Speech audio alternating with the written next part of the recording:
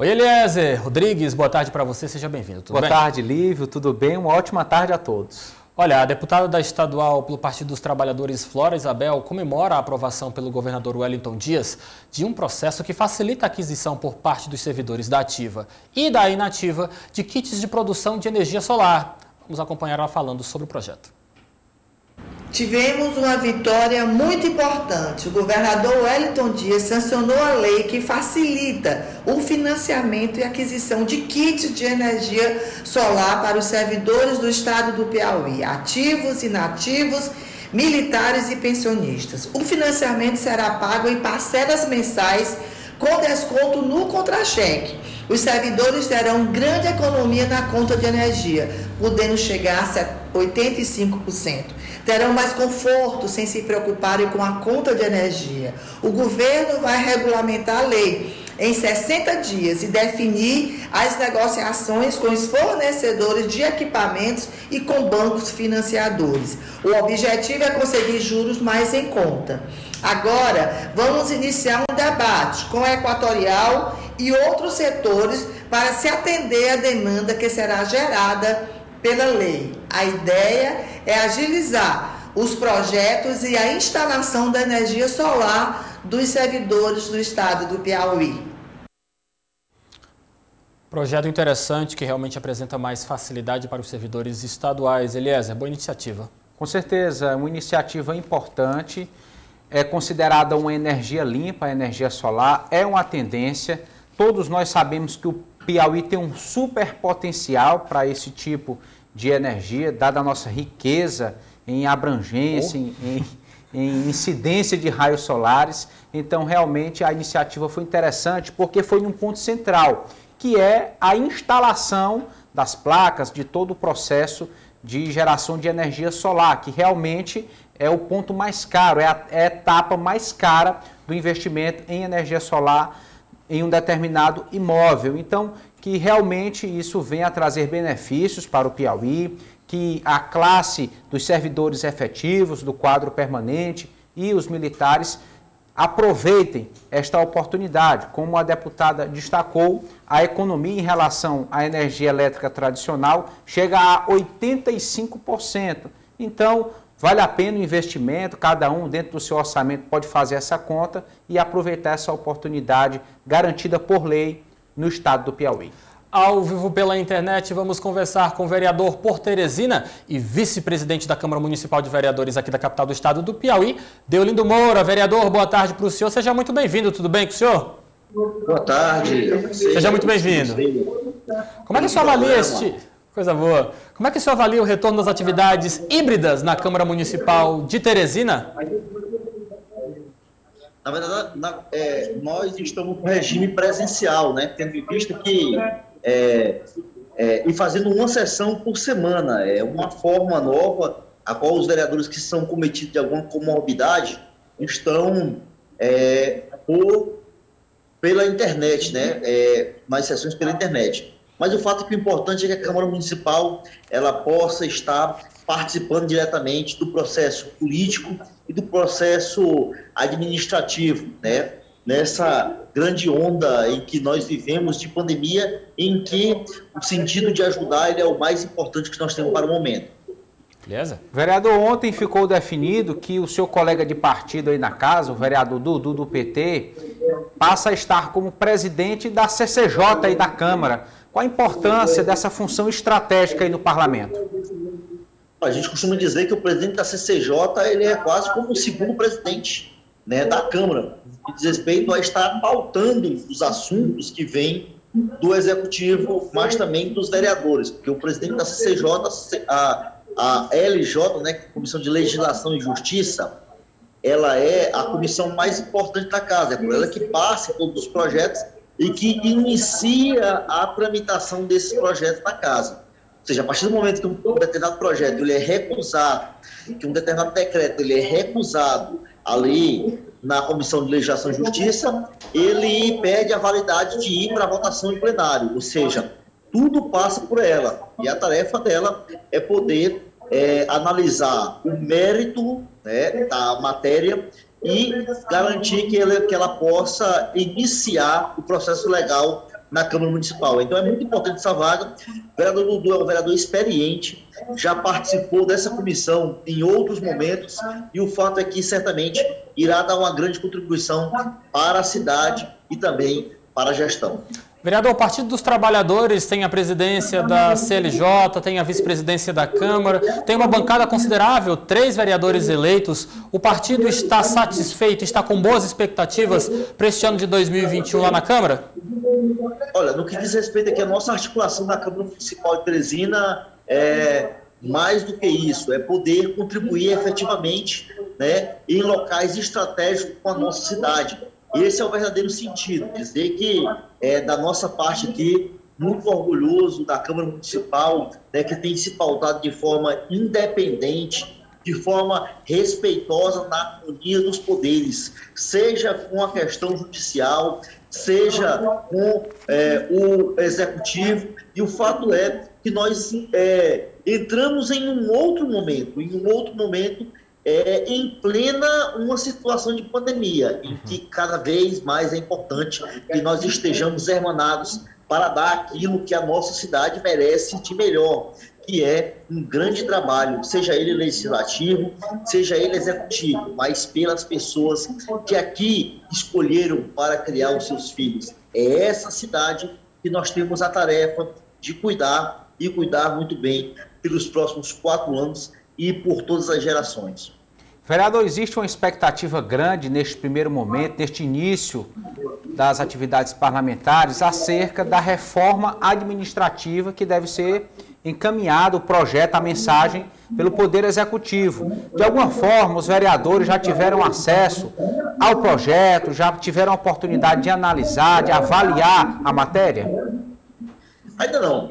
É, quanto à reforma administrativa, nós acreditamos né, que a gestão ela falta essa reforma administrativa e, no meu entender, no que diz respeito à questão política administrativa, é, o prefeito Pessoa, recentemente eleito, tem o direito de definir qual é a sua estratégia para essa governança da cidade, qual é a sua estratégia para a administração da máquina pública. Isso é importante que haja sensibilidade aqui da Câmara Municipal de Teresina, porque nós temos que entender esse novo momento dentro dessa nova gestão.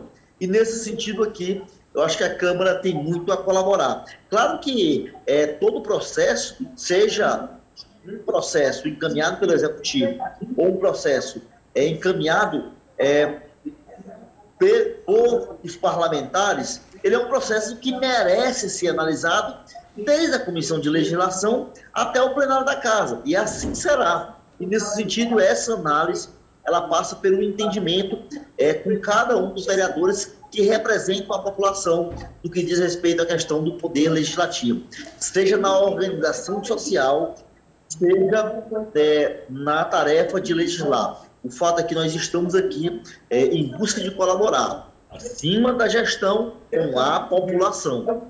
Ok. Vereador, muito obrigado pela sua participação. Excelente tarde para o senhor. Até o nosso próximo encontro, tá bom? Obrigado. Eu é que agradeço. Tchau, tchau. Boa tarde.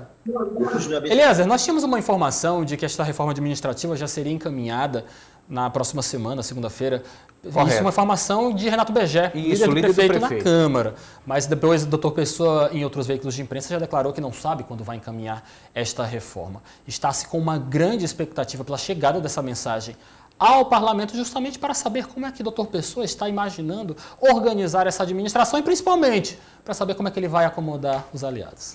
É um ponto de partida fundamental, Lívio Galeno. A Prefeitura de Teresina tem uma determinada estrutura hoje.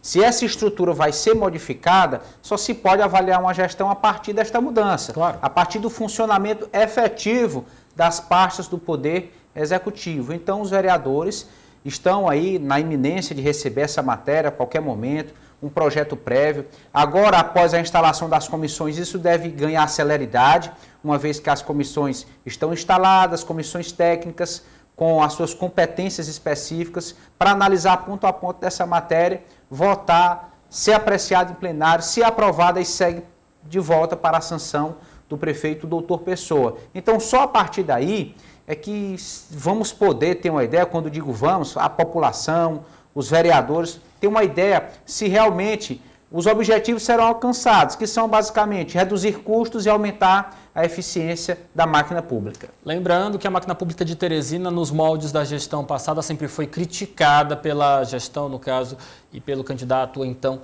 doutor Pessoa, que disputava o Palácio da Cidade. Sempre foi uma questão muito criticada e, é claro, nós estamos aguardando para saber qual vai ser as quais serão as medidas apresentadas pelo prefeito na tentativa de dar mais agilidade à administração pública da capital do estado do Piauí.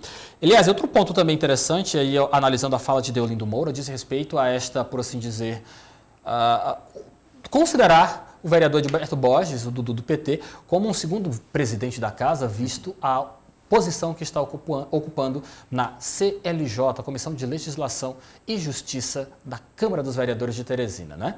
É verdade. Em todos os parlamentos, essa comissão ela se destaca. Por quê? Porque todas as propostas que chegam dos parlamentares ou de órgãos da administração, ali equivalente, poder executivo. No caso aqui, se olharmos para o estado do Piauí, projetos do Tribunal de Justiça, projetos da Defensoria Pública, enfim, a nível de município não é muito diferente.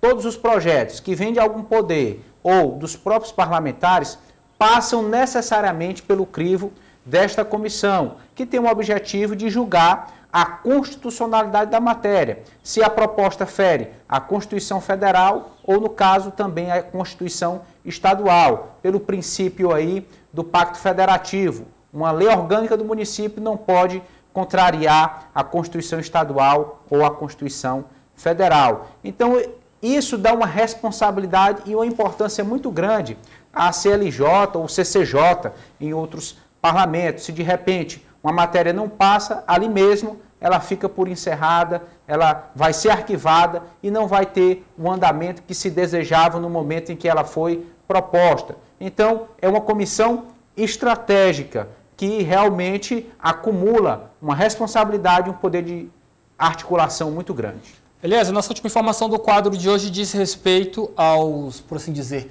ex-PTBistas, no caso. O que você tem de novidade para a gente sobre esta polêmica? Primeiro de tudo, vamos relembrar qual é a questão de atrito entre os, piauienses que são filiados ao PTB. Pois bem, Lívio, nós já trouxemos aqui, inclusive, uma fala do próprio deputado Nerinho, uma das maiores expressões hoje do PTB no Piauí, colocando que uma resolução do Diretório Nacional, partindo, portanto, do presidente Roberto Jefferson, determinou que o PTB está proibido de fazer alianças, de alguma forma, de estar alinhado com partidos da considerada esquerda, da ideologia de esquerda. E ao todo são 11 partidos listados é, como de esquerda hoje no Brasil. Uhum. Então, isso afeta diretamente estados e municípios. A nível federal, o PTB está muito bem alinhado com o presidente Bolsonaro e aí veio agora esta resolução. Aqui no Piauí, ela causa um certo estremecimento. Por quê? O PT é considerado, é enquadrado como partido de esquerda. E o PTB tem uma relação muito próxima com o Partido dos Trabalhadores aqui no Piauí. O presidente João Vicente Claudino, com o governador Wellington Dias, enfim. E com esta resolução do Diretório Nacional, esta aliança que hoje existe é muito próxima, fica insustentável. Daí, ontem foi comunicado formalmente em uma reunião que o ex-senador João Vicente, o deputado Nerinho, o deputado Janaína Marques, que são do PTB, estão no governo do Estado também em parte do Executivo, vão sair do partido Nossa. para preservar esta aliança com o governo do Estado. Então, entre agradar o Diretório Nacional e permanecer bem alinhado com o governo do Estado, os maiores líderes do PTB atualmente aqui no Piauí preferiram permanecer alinhados com o governo do Estado. Um ponto bastante interessante, porque era a expectativa do Partido Progressistas de Ciro Nogueira contar com a disponibilidade do nome de João Vicente Claudino em uma futura eleição, inclusive para disputar o Palácio de Karnak. Mas se João Vicente Claudino está deixando o PTB para não ir de encontro à base do caso ao Partido dos Trabalhadores, ao governador Wellington Dias, muito pouco provável vermos João Vicente no Progressistas, hein, Eliasa? É cada vez mais improvável essa situação. Realmente, mostra que quer permanecer na base do governo do Estado, que se for candidato, o ex-senador João Vicente deve estar no bloco do governador Wellington Dias, somando forças para a reeleição desse projeto de Estado que hoje governa o Piauí. Portanto, esta ida para o Progressistas pode ter ficado simplesmente no campo das especulações. Qualquer partido que é uma liderança a nível do ex-senador João Vicente Claudino, mas parece que não vai ser dessa vez que o Progressistas vai conseguir tê-lo em seus quadros. Vamos ver. Obrigado, Eliezer. Boa tarde para você. Até amanhã. Boa tarde, até amanhã. Política do dia.